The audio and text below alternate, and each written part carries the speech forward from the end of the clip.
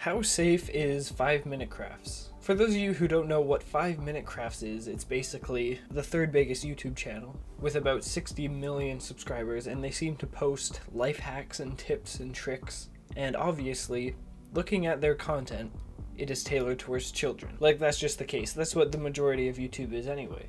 So, how safe is this YouTube channel? So, first off, look at this clip how to defrost a pizza. Doesn't look very safe. It's in a plastic container they're heating up an iron and using a bunch of just use a microwave. if you're telling kids that they should do this, it's not a very good idea. Like safety hazards, right? I just had to add here that defrosting a pizza with an iron is something that Ricky from Trailer Park Boys would do. And if it's something that he would do, it's not a good idea. I've seen videos online where Ricky makes a grilled cheese sandwich by by flipping a toaster on its side and baking it in there. He even used a butter knife with duct tape on it don't do that. And he also used an iron to cook a grilled cheese sandwich. Like, like if it's something he would do, it's not a good idea. And that's exactly what they did. Now this clip isn't, I guess, that big, but like seriously, some of these tips are very pointless. There was this one clip where basically they took a styrofoam cup and a, like a fork or something, and they made a spoon out of it. Like just use a spoon. I don't understand. Five Minute Crafts is um, interesting that way, but let's look at some other stuff. So this clip is very small. It's of this girl putting toothpaste onto a lollipop. And she's eating it.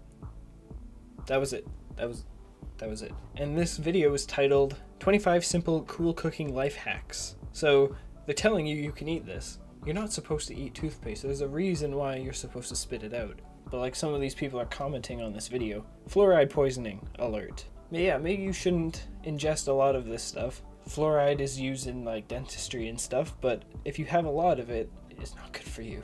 So they're telling kids, yes, it's okay to eat toothpaste, it's like a flavor boost. No, it's not. What on earth? Okay, so we've seen some of the dangerous stuff that 5 Minute Crafts is advocating, but there's this one clip that's ridiculous. It's even the thumbnail of the video. Take a look at this. 36 crazy fruit hacks you should try to eat, right? You can see in their tags dessert recipes. This is obviously an eating video. And look what ingredient they're using. Bleach. Bleach. What the f- Do not eat bleach. What on earth are they doing? It's Tide Pods all over again, my goodness. So bleach, what are they doing? Dipping strawberries in bleach. So it seems to be decoloring the strawberry. They're now white. They're even wearing gloves. Wow, yep. Color removed. Why are you wearing gloves? Because you know it's dangerous. What the heck? Okay, amaze your friends and show them a trick on how to make white strawberries. This trick is very easy. Take a glass with bleach and place strawberries inside. Wait for a couple minutes and the strawberries will lose the color. Don't forget to wear disposable gloves and do not eat these strawberries. So they're saying that here. They're saying that in the big block of text here that no one's going to read. They don't mention it in the video and this video has 1.4 million views maybe you should say that in the video or put an alert. If I was a kid, I would probably be like, yeah, that's safe because I don't know anything about bleach. It's it's not very safe. I don't know, man. I don't know. Do you watch 5 Minute Crafts? If so, is this something you can defend? I've noticed also in 5 Minute Craft that a lot of this footage is reused. Also, I've just found this out right now, right after I'm done uploading, unfortunately, that they've done this before.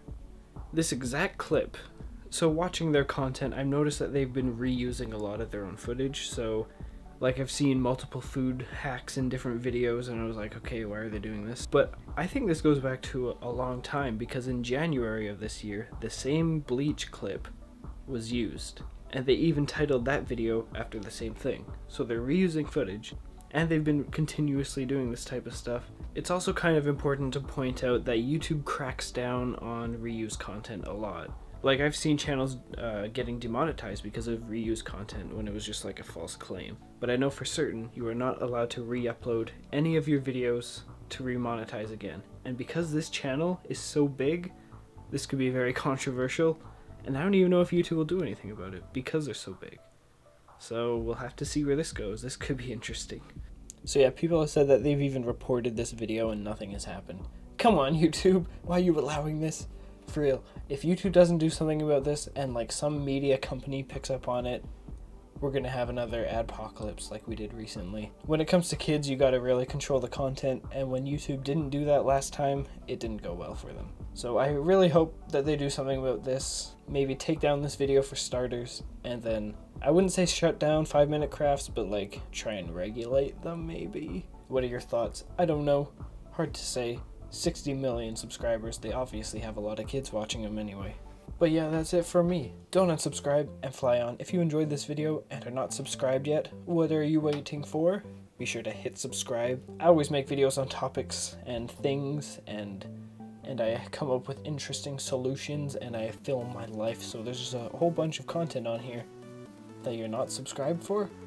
Okay, bye. Thank